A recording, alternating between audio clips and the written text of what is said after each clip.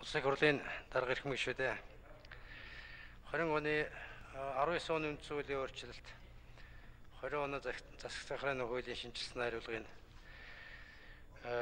хуулийг хэрэгжүүлэхтэй холбогдуулаад засгийн газраас төрийн ярьсан 127 хуулийн өөрчлөлтийн төсөл за үүнийг дагалдуулаад 3 журмын төслийг боловсруулж улсыг хурлд өргөн мэдүүлж байна. Нэгдүгээрх нь засаг захиргааны нэгжиг өөрчлөх асуудлаар иргэдийн санал авах журмын төсөл байгаа. Энэ журмын төсөлд тухайн нэгж иргэдийн саналыг авах ажлыг зохион байгуулах, иргэдийн саналыг авах, дөнгө мэдээлэл үйл ажиллагаатай холбогдсон харилцааг зохицуулсан журам байна. За хоёр дахь журам нь иргэдийн төлөөлөгчийг сонгогчдын саналаар эгүүлэн татах журам байна.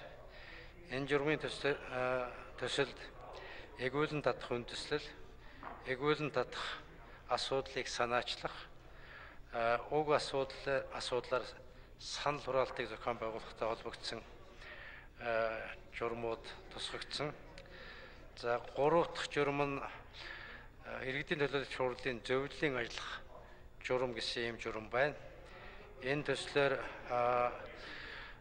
хуралдааны шийдвэрийн биелэлтийг хангуулах асуудал, хуралдааны бэлтгэлийг хангах, хуралдаа хооронд хурлын хор ажлын хэсэг байгуулах, эдгээрийн үйл ажиллагааг зохицуулахтай холбогдсон ийм гурав дахь журам байна. Энэ журмуудыг бас тэр төрөөчийн хуулийн өөрчлөлтийн төслүүдийг боловсруулж хэд хэдэн удаагийн хурал зөвлөгөө семинарыг зохион байгуулсан.